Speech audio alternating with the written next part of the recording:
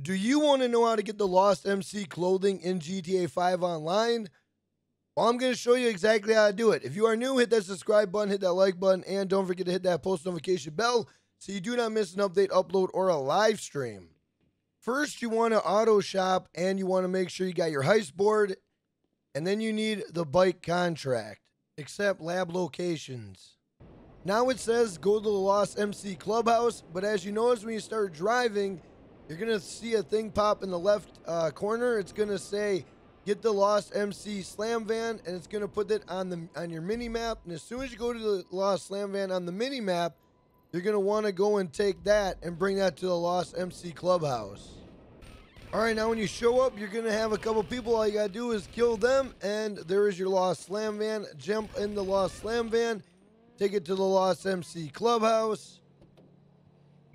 As you come up to the yellow dot, it's going to stop your slam van right away. The back doors are going to open. You're going to want to go to the trunk, and that's where it's going to tell you to get in your um, slam van disguise so you can pretty much walk by the enemies without being noticed. Now, you can walk in their cone of vision, you just cannot be in there for that long. So when you walk by them, don't worry because you are in disguise. As you enter the building, you can see that they're not paying any attention to you. Walk right through the door, and the safe will be right over there.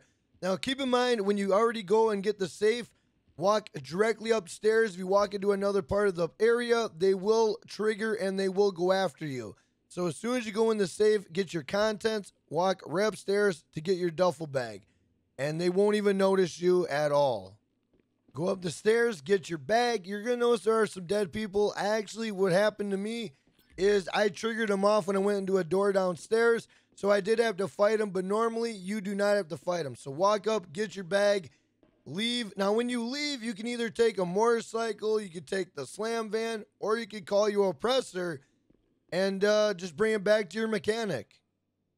Once the mission is passed, go to your locker, go to outfits, go the second to the bottom, Los Santos Tuners, and then go to Lost MC.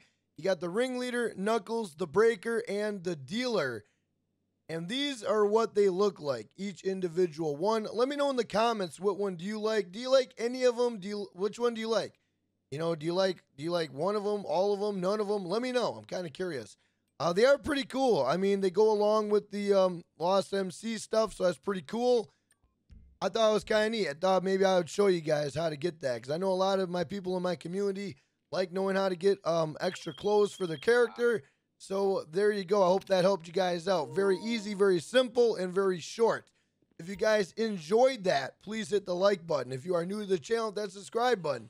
And don't forget to hit that post notification bell so you do not miss an update, upload, or a live stream. With that being said, I'll catch you on the next one.